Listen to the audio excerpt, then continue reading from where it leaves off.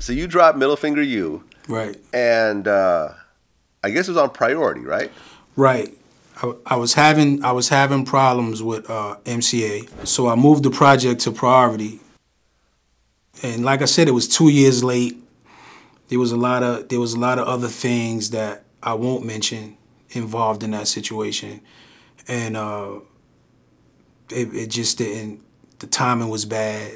You know, some of the material was a little dated to me. I had some, even though I did have some good songs on there, I thought but it just it just the timing of it and then the separation and you know just everything played a part in, in, in that situation Well, Jay Z shows up on two of the songs.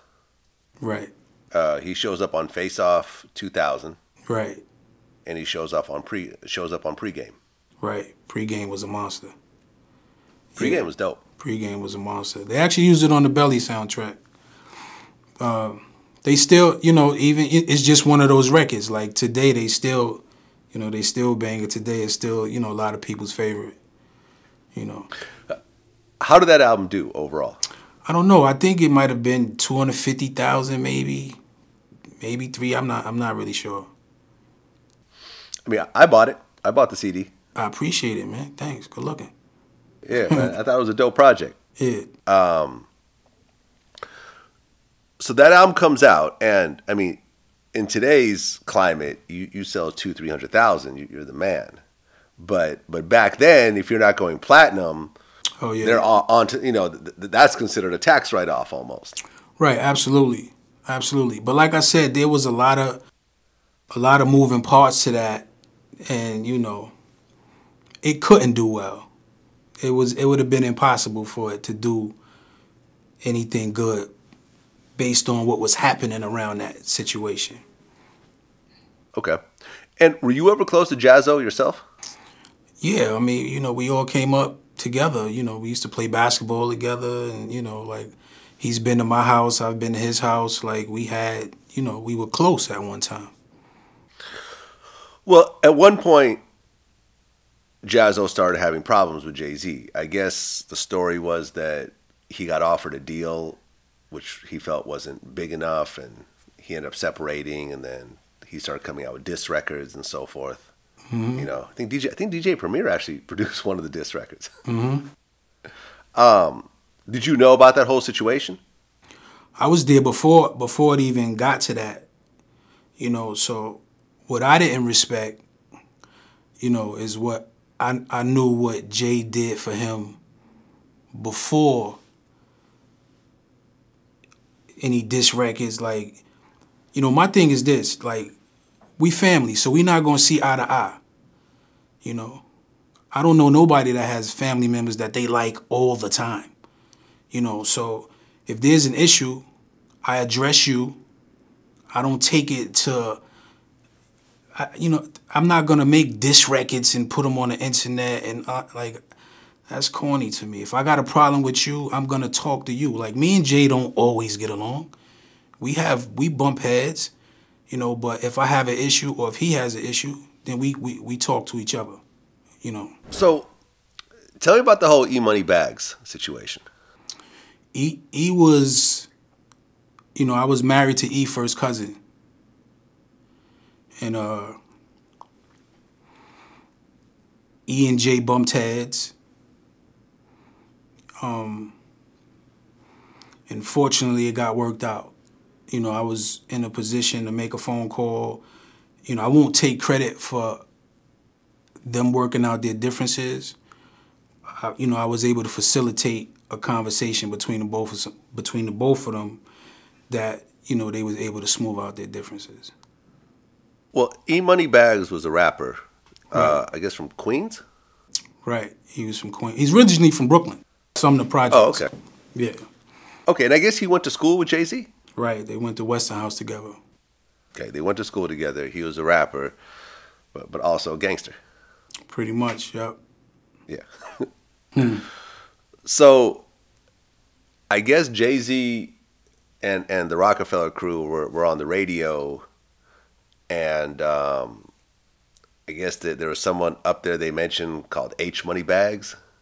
Yeah. H from he's from Marcy.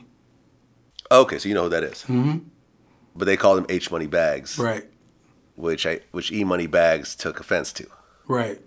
Right. Yeah. But it started before that though. That was just that just escalated a situation that was already in, in progress. You know, um, I think it's something with Rocawear clothing, and you know, there was an exchange in Def Jam, and I think E asked him, you know, what's up with some, you know, with the Rocawear clothes or whatever, and Jay said something, I guess, that he didn't take on to or whatever. He thought he was saying something funny, and that's where it really started. Right. E Money Bags was was also running with Mobb Deep, Right. uh, and and Nas, Right. and uh, Nori. right. the whole the whole Queensbridge crew. Mm-hmm. And uh, you know, a real crazy situation ended up happening in Queens, where uh, I guess him and Supreme got into some sort of you know argument over some money, you know, over a car or something like that, Over a thousand dollars. over a thousand dollars. It's crazy when you say it out loud right now. Can you explain what happened next?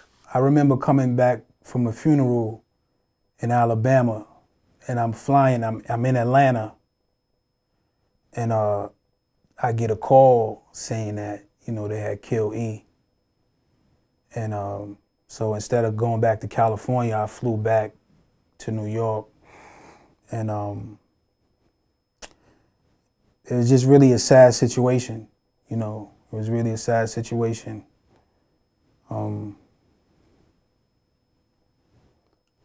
I don't even really like talking about it, to be honest with you. Well, I mean, th- there was a prodigy uh, audio talking about this whole situation. I guess after that thousand dollar beef, um, E Money Bags wanted to kill Supreme, so he pulled up on him and shot the car up, and ended up killing uh, Black Just, who was a big a big figure Yeah. in Queens. Yeah, yeah, I heard something like that. Yeah, and I guess it was on accident. He was actually trying to kill Supreme and kill the wrong person. Right. And then a few weeks later, uh, E Money Bags gets killed himself. Right. Right. Which you know, I, I don't know the story, but you know, you could just assume that it was a retaliation for, Right. for that shooting. Right. And you know, it didn't stop there. You know, they would they would you know, they would use certain people because there was still people out there that were major, major threats. You know, and even though they killed E, you know, there was still people out there that they couldn't be comfortable because, you know, these guys were serious people that wasn't just gonna let that let that go.